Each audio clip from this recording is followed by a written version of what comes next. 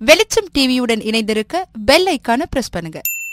விழுப்புரம் மாவட்டம் செஞ்சி அருகே உள்ள அம்மாக்குளம் ஊரை சேர்ந்த ஏழுமலை என்பவர் தனது மகளுக்கு மாப்பிள்ளை வீடு பார்ப்பதற்காக ஒரு வாடகை காரில் உறவினர்களை அழைத்துக் கொண்டு ஈரோடு நோக்கி சென்று கொண்டிருந்துள்ளார்.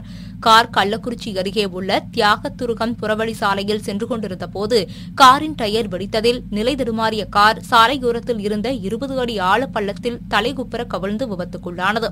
இந்த விபத்தில் காரில் பயணம் செய்த ஏழுமலை பாலாஜி சித்ரா ஜெயக்கொடி ஆகியோர் சம்பவ இடத்திலேயே உயிரிழந்தனர். மேலும் இதில் பலத்த காயமடைந்த சாந்தி சிவக்குமார் ஆகிய இருவரையும் மீட்ட அப்பகுதியினர் சிகிச்சைக்காக கள்ளக்குறிச்சி மாவட்ட தலைமை மருத்துவமனையில் அனுமதித்தனர். பின்னர் சம்பவ இடத்திற்கு வந்த தியாகத்துருகம் போலீசார் வழக்கு பதிவு செய்து விசாரணை மேற்கொண்டு வருகின்றனர். மகளின் திருமண நிகழ்வுக்காக சென்றவர் உயிரிழந்த சம்பவம் அப்பகுதியில் பெரும் சோகத்தை ஏற்படுத்தியுள்ளது.